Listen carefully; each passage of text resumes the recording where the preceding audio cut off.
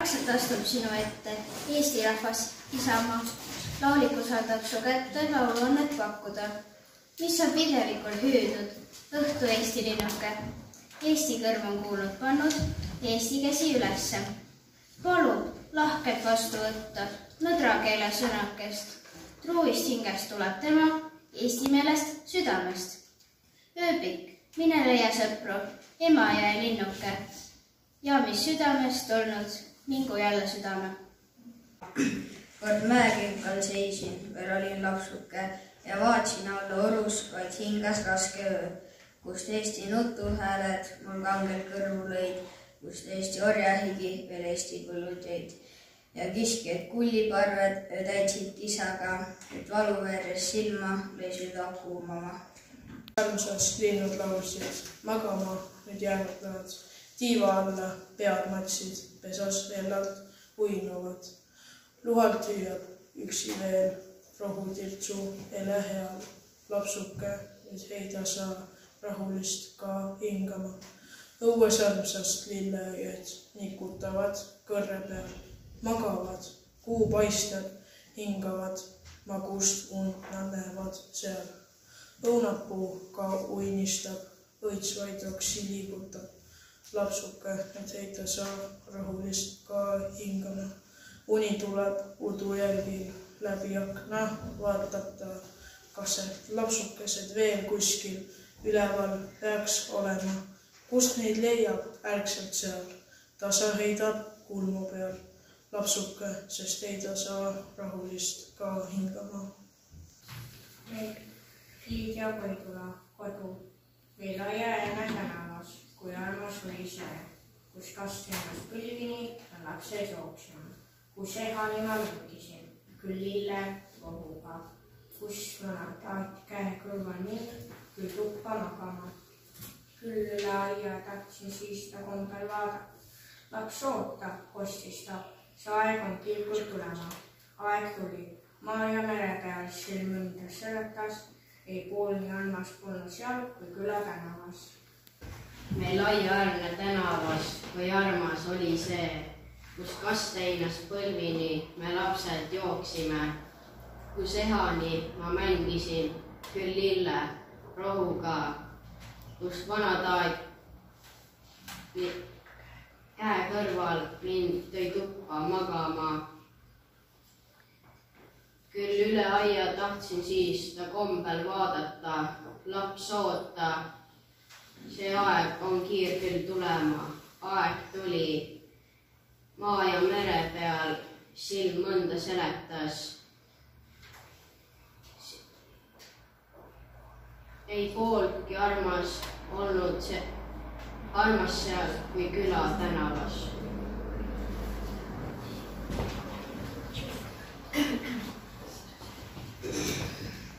Liide Koidula, sügise mõtted. Juba kaselatad lehed langevad, kõle tuul käib üle kesamaa. aastakella rõõmuhääl on lõppenud, viimseid tunde hakkab lööma ta. kena päike, kas sa väsinud oled? pikkamisi pead sa tõstad sa.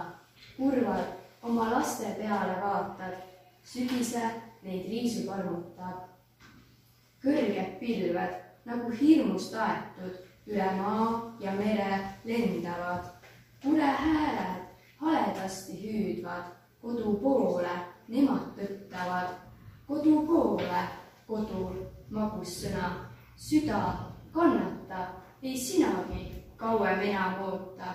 kodu poole kutsub isa sind ka viimati. Liidia Koidula, kodu. meil aiaäärne tänavas, kui armas oli see kus kasteheinast põlvini me lapsed jooksime, kus ehani ma mängisin küll lillerohuga, kus vanataat ja kõrval mind tõi tuppa magama. küll üle aia tahtsin siis ta kombel vaadata. laps oota, kostis ta, see aeg on kiir küll tulema. aeg tuli maa ja mere peal, silm mõnda seletas. ei poolt nii armas olnud seal kui külatänavas. olid tema kinni püüdnud tema tiibu lühendanud, olivad mu kokka kaela raske rõuparõnga pannud. pidi seisma vait ja vara, sööma püüdja pihu sees, keski vägev linnukuni pärinud su silmaveest. pärinud su igatsusest taevatuule järele. oli sul ju rohkelt toitu, silitust said vahelgi. minu Eesti kokkaliivad uuesti nad kasvanud. pilve poole teda kandvad raud ja ahel langenud. Kuidas see nii salasündinud, küsimas nüüd püüdja keel. ei, kõik need enne muistsed tuuled, ei, need pole kadunud veel. Süda, ei saa kaugelt pea, tõsist õnne otsima. vagus kuid loodab, usu, armasta ja kannata. võiksid sa maailma otsa. Tuuletilgu lennata. süda, sinu soovimised ikka tuleks ühes ka. ei maailmal rahu anda pole, petlik on õnn, mis ta eile õnneks kiitis, tuulemäng see homme. sest mu süda ära kaugelt tõsist õnne otsi sa, vagusi kuid looda, usu, armasta ja kannata. päev looja läinud, öö edeneb, nüüd vaikseks nõmm ning maantee jääb ja õhturahus saadab ta kõik päevakera magama. mets vaikseks jääb ja oruke, kõik linnud ammu vaguse.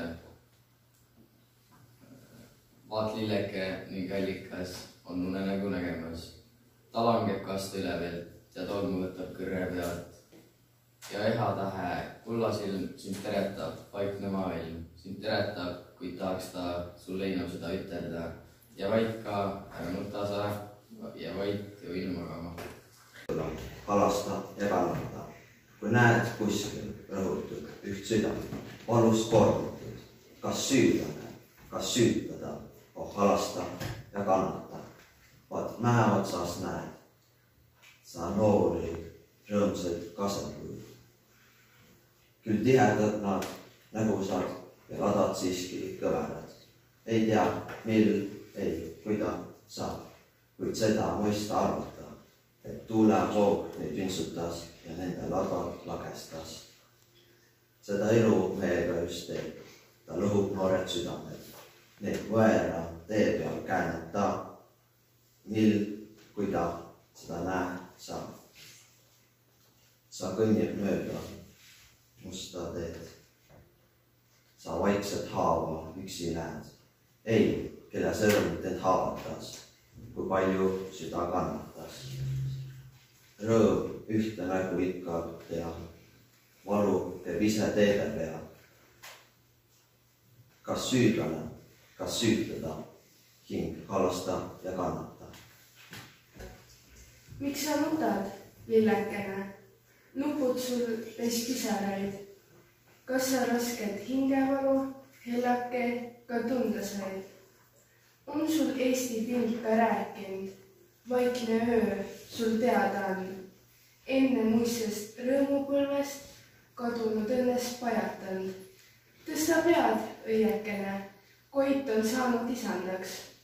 omad terad hiilgavad saadab, et nahknud tuguivataks kui ta lõunavalgus puistab üle õitsva Eestimaa. oh, kus taha meenutab tänu, õis siis vastu õhata. no minul kolm, kolm valikut olid sealt viiendast kaheksandast oli see Mailis, Karmel ja Hans. Aga üheksandast peab ka võtma ühe. sealt on ta pärast.